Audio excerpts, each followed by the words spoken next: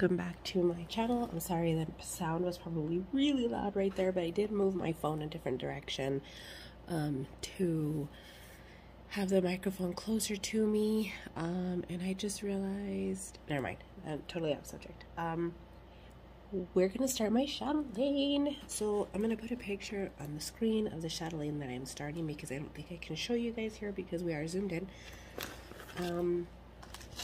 I don't know how long this video is going to be. I don't know how much I'm going to talk, but I did want to bring you on a like start my chatelaine with me. If I bump you a little bit, I apologize. I'm having a really hard time figuring out my setup here. I was considering getting like an arm, um, but I don't know where to put it. I the only thing I'd be able to do is attach it to my Lowery because I don't stitch at a desk. I stitch in a rocking chair, and I don't think I like that either. So I don't know. I'm gonna. Uh, I don't know. I'll, I'll, figure it out. uh, but anyway, so we're gonna start. I have so I'm starting in a Q snap. Um, I put it in a scroll frame, and then I was like, you know what? I don't need that much space uh, surrounding it because my scroll frame went up to like 23 inches, so it covered the entire project, but my project is only going to be 18 by 18. This is an 11 by 11 Q snap, and I'm honestly thinking of just getting the longer Q snap. Um, this there's a 17 inch one, and I think I'm gonna get that, and I can pretty much do um, the whole project in there, and then move to the um, the scroll frame for beading because um, Martina's notes recommend doing all the beading last. And I know a lot of people normally do the beading as they go. Um, but I think, I don't know, I'm to see how I feel and see how it goes. So we're to start this. I have all of my floss here pretty much ready to go, all of my fancies, and I went ahead and did, this isn't all the DMC, this is just the DMC I need for the center. Um, I went ahead and subbed the NPIs for DMCs because I saw a lot of people doing that, and honestly, I prefer um, to using the DMC over a silk. Um, I've never tried NPI before, but I have um, used other silks like dinky dyes and stuff, and I don't know. I feel some kind of way about it, and so um, I just got, I have all the fancy stuff and the beads, which I don't have here. I have them put away.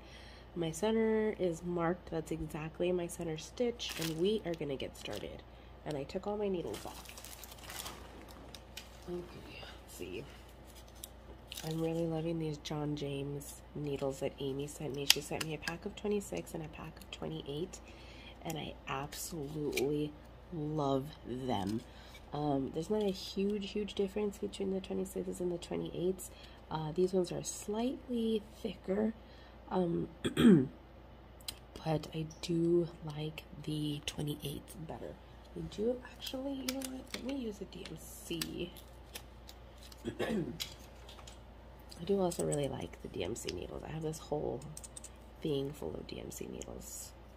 I found like six brand new packages of DMC needles in my drawer the other day. Um, like, and I think that was six and a half, if I'm not mistaken. Plus, um, a couple of random John James, um, a pack of John James easy thread needles. And then I also found these other really cool gold ones. Do I have them here? I don't know. It has a gold eye. And it came in just like a little tiny little plastic thing by itself. And they're amazing. I hope you guys can hear me. I don't know what I did with it. It's not, I have this little like thing that I got from Black Needle Society that I keep all my little things in. I don't know what I did with it, but it's a freaking amazing little um, uh, needle. It's so nice. Okay, so we're gonna get started. Where's my pattern? Oh no, my pattern fell so far away. Please, I'm to cut this out because I'm wearing pajamas. No, I'm gonna have to. let Let me figure this out. Give me a second.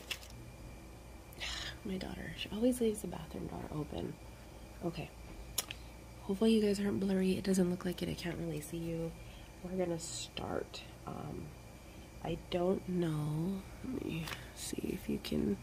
I put my pattern here. You can see part of the pattern, but I've done it in a way that you can't see a whole lot of it. I do also have the entire thing covered. I'm actually using a grime guard this time. I made this grime guard, so don't ask me where I got it. um, I also have my fabric on the wrong side, facing out this way, so if I do get it dirty, this is the back.